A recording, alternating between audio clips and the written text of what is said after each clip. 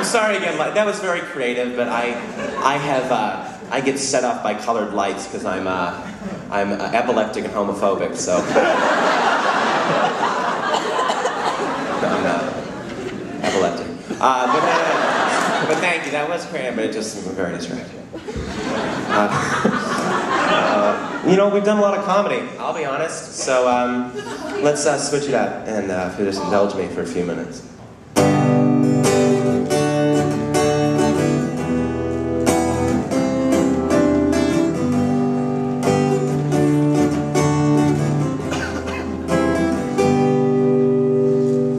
She was the perfect woman in every single way.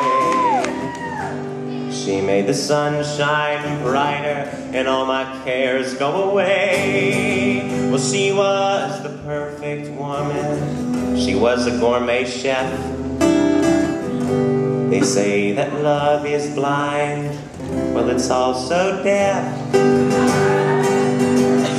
Cause Helen Keller was the perfect woman, and no one understands just how talented she was with her hands. Jordan, God made the perfect woman. How was the finishing touch?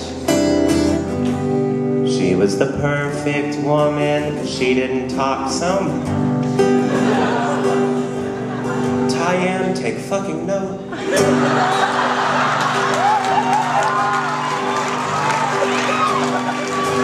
She wanted to name the kids, so I finally let her. It turned out horridly.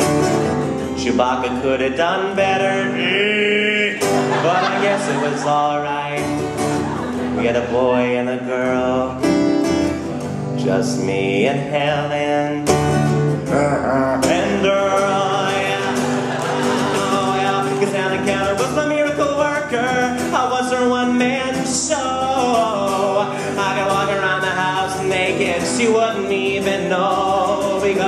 Helen Keller was my perfect woman. I was her only need. Well, she didn't mind the zits on my ass.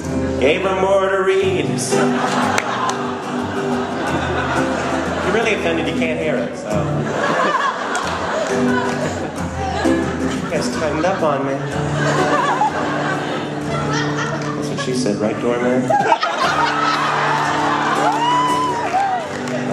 Was my perfect woman, but I don't think she cared.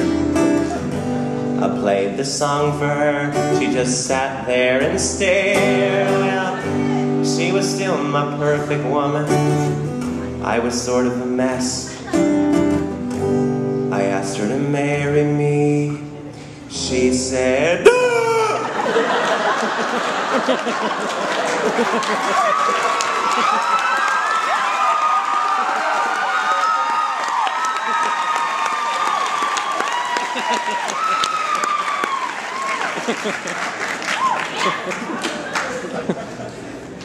So there's that one. So guys, I can make those jokes, okay? I have a deaf cousin. I do. Yeah, she's actually missing a finger, so she has a lisp.